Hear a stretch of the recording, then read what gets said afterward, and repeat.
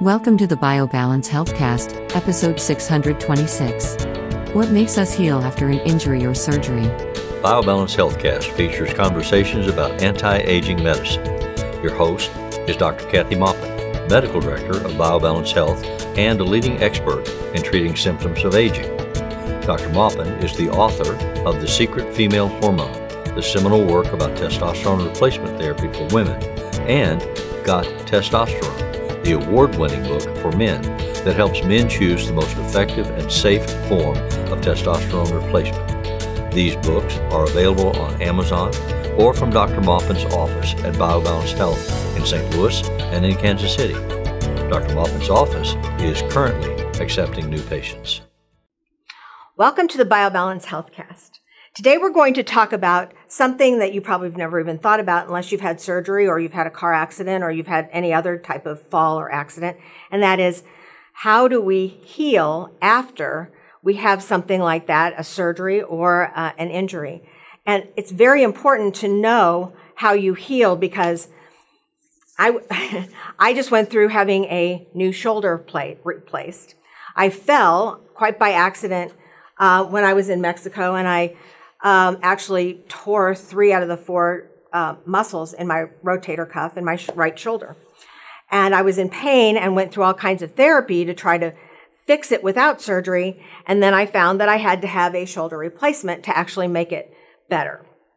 So after nine months of um, having pain and going through different treatments to try to fix it without surgery, I went through surgery and I was very well prepared because my surgeon, Dr. Yamaguchi, who is an orthopedic surgeon at Barnes in St. Louis, was my surgeon. And he gave me a six week program on what to do before surgery and what to do after surgery to heal better and to heal more effectively without having to go through phys- even physical therapy.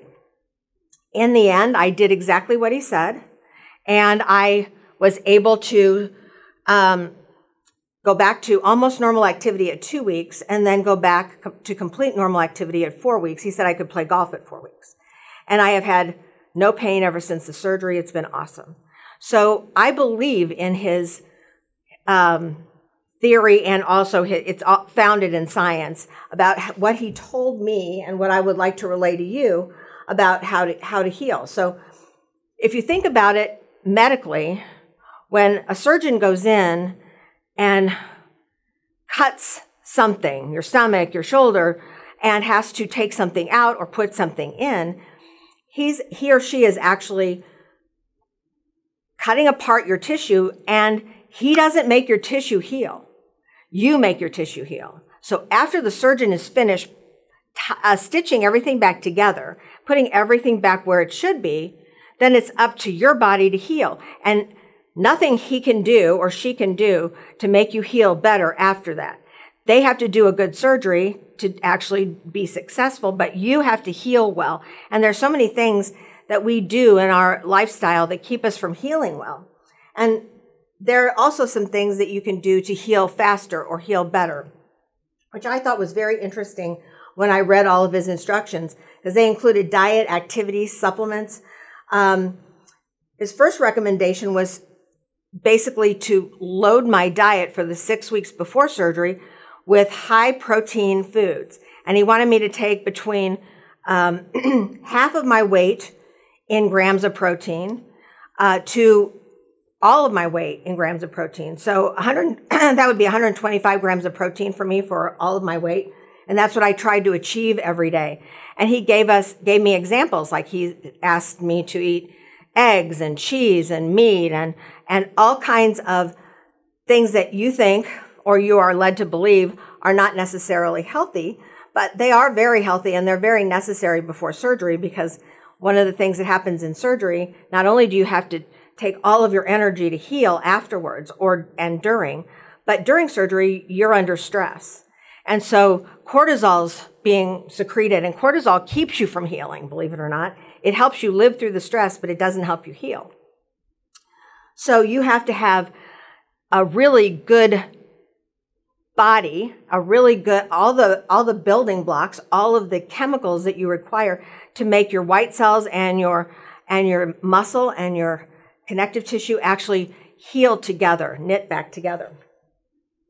So I did what he said. I ate a lot of yogurt, cheese, eggs, and then I also had protein shakes and G Zero, which is a protein drink with no carbs.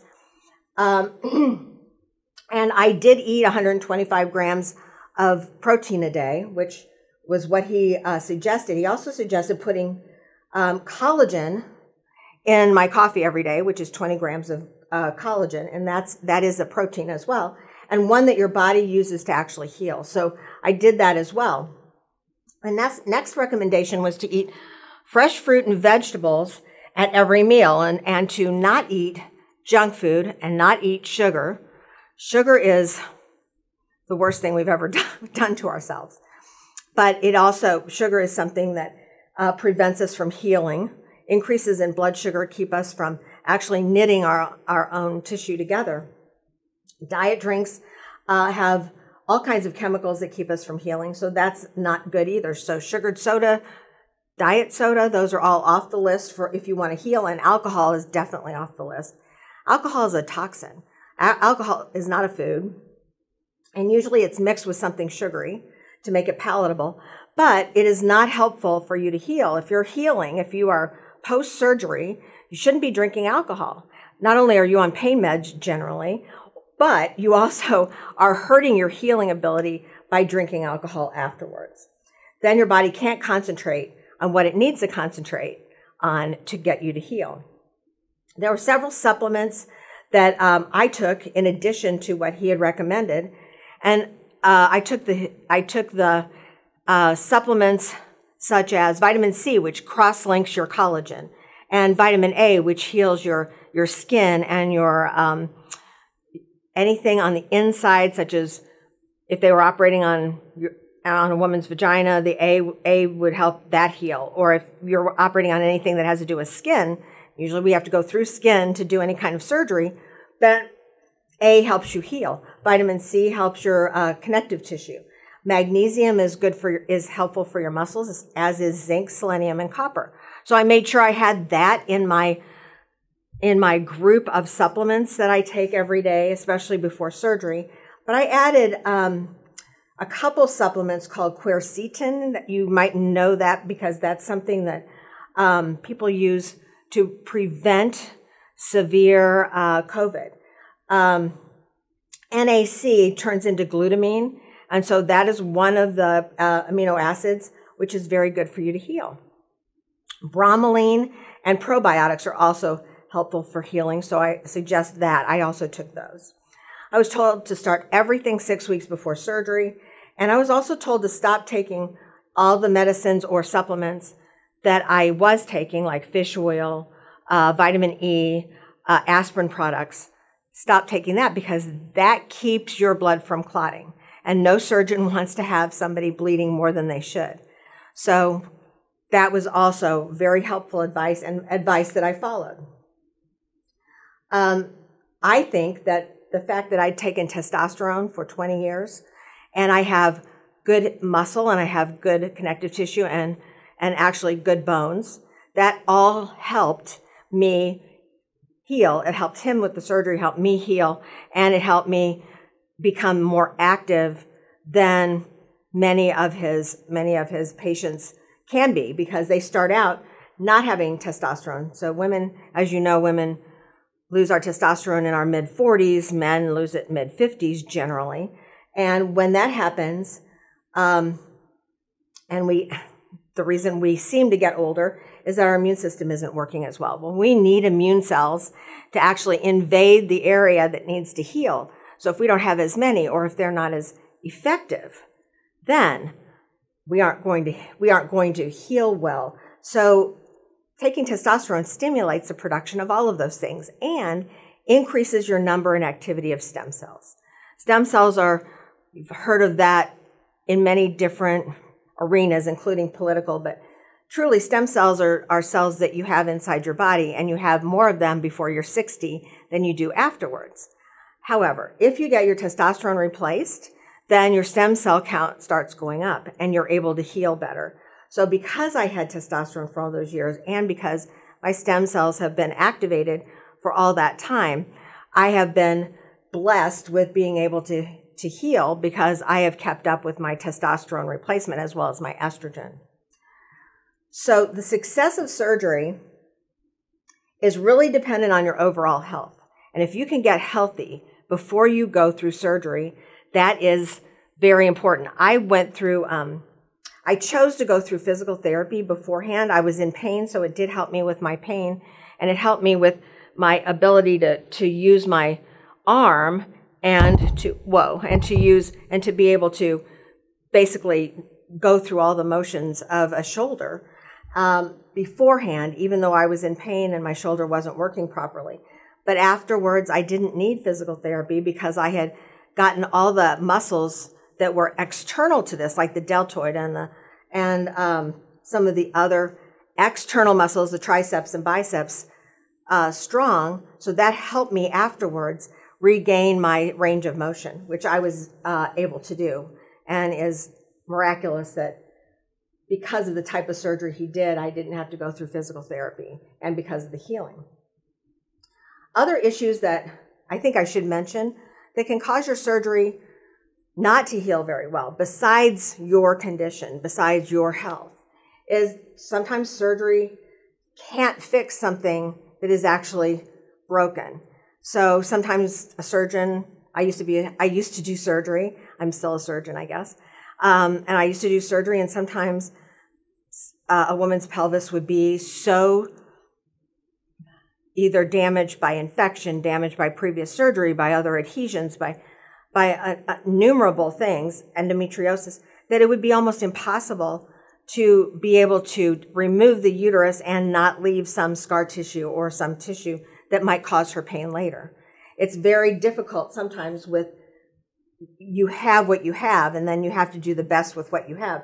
There's other there's other reasons that surgery may not work and that may be that you have the wrong procedure for what your problem is that is sometimes just one of the steps. You need to have this surgery before you have this surgery, before you have this surgery. And that's something you should know ahead of time before you uh, start the first phase. Um, if you have diabetes, heart disease, autoimmune disease, cancer, or other chronic illnesses, kidney disease, it's very difficult or more difficult for you to heal. So the better condition you are in any of those ways, the better your doctor has gotten you as healthy as possible before your surgery, that is something that is very important for people who have those conditions to pay attention to before surgery. You shouldn't just show up for surgery. Oh, okay, I'm here for surgery and not do anything ahead of time. You should be prepping yourself. Um, poor nutrition, uh, smoking, COPD from years of smoking, or just COPD that had bad luck and, and had damage to your lungs and you don't have good oxygenization, that is the that is a negative force on healing. You need to have oxygen to heal your tissues. P- people who've never exercised, I mean, you should exercise. Everybody should exercise every day for you to be healthy. And lack of exercise does set you up for not being healthy after a surgery. You have to have, you have to be exercising before and after. So, your best your best move before surgery is to do the things I did to get your nutrition in line. I lost 10 pounds beforehand to lose as much weight as you need to lose to get to the stage where you're at your ideal weight if possible. Take your testosterone, take your supplements. Um, uh, if you uh, have different kind, one of those diseases that makes it difficult to heal, make sure the doctors that you see for that those diseases know that you're going to have surgery and help you prep for that surgery. Uh, start your exercise program so that you will be in good condition to to recover from the surgery or from. I guess you can't do that if you're having uh, if you have a, a trauma because you don't know that's happening. Some of the um, you should have blood work. I, I had blood work from this physician uh, ahead of time to make sure that I would heal. And he made sure that I wasn't anemic and that my cortisol wasn't too high, that my um, CRP was not elevated. That's the inflammation in your body. Too much inflammation is not good for healing. You just want enough, so you shouldn't go into surgery with a high CRP. Should, it, it may go up after surgery, but it comes back down. Also, blood sugar should be within range, and your doctor can help you with that. So, you don't, your body heals itself, but it needs help, especially as we age. The older we get, the more help we need. And so the more we have to actually follow the rules. And you need at least a six week lead time before your surgery, if possible, unless it's an emergency. So if you scheduled surgery, then you need a, a six week lead time before you actually have the surgery to get your life in order. You need to not concentrate on other things, just concentrate on getting yourself healthier for the surgery. And then afterwards, your recovery will be shorter and more complete and he's cleared me to play golf, which is amazing. Uh, that was at four weeks after my surgery. So I have complete range of motion from his procedure, which is, by the way, a reverse shoulder replacement. And incisions here, I can't even see it. So, those of you who have shoulder problems, that's my story for everybody else who's planning surgery or may have surgery in the future. These are the things that can make you healthier afterwards and have a, a better healing process. Thank you for listening. I hope this helps, and we'll see you next week. Email your questions or comments to podcast at biobalancehealth.com. You can find the BioBalance Healthcast on iTunes and on YouTube. For more information about bioidentical hormone pellet therapy and other reverse aging solutions, visit biobalancehealth.com or call 314 993 0963. You can find Dr. Maupin on Twitter at Dr. Kathy Maupin and on Facebook at facebook.com slash biobalancehealth.